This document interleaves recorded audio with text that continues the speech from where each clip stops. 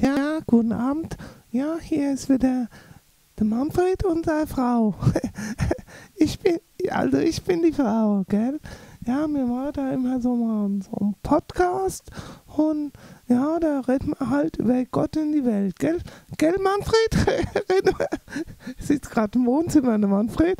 Äh, ja, ja, ja, ist gut. Ja, Essen ist bald fertig. Ja, Entschuldigung.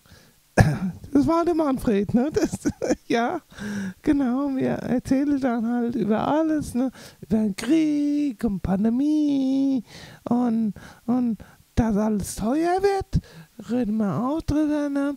Und ja, genau, das sind, sind ja so die Themen, die vorgegeben sind in der Medien, ne? Und darüber, darum re reden wir auch darüber, weil die ja vorgegeben sind. Ich spreche ja über sowas und dann soll man es auch weitergeben, ne? Weil das ist ja die Meinung der Mehrheit. Und die Meinung der Mehrheit ist ja wohl richtig. Gell, Manfred? Manfred, einen Augenblick. Einen Augenblick. Manfred, die Meinung, Meinungsfreiheit. Ist, er dafür? Er ist für die Meinungsfreiheit. Also,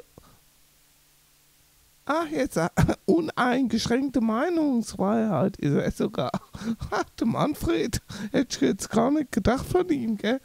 Wir sind 40 Jahre verheiratet. Der Manfred, uneingeschränkte Meinungsfreiheit. Hätte ich nicht gedacht. Nach 45 Jahren, gell? Na, na. Ja, so ist er. Ja, ja, kritisch ist er auch, gell? Ja, ein kleiner Augenblick bitte. Manfred? Ja, fünf Minuten ist also fertig. so ist er, gell? Kritisch und informativ. Ja, Mensch, ja, ja. Äh, Also, das war's dann wieder von uns und weitere kritische Beiträge gibt's demnächst. Auf Wiederhören.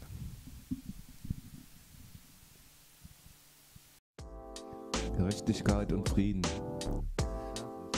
Informationen, Nachrichten für eine bessere Welt.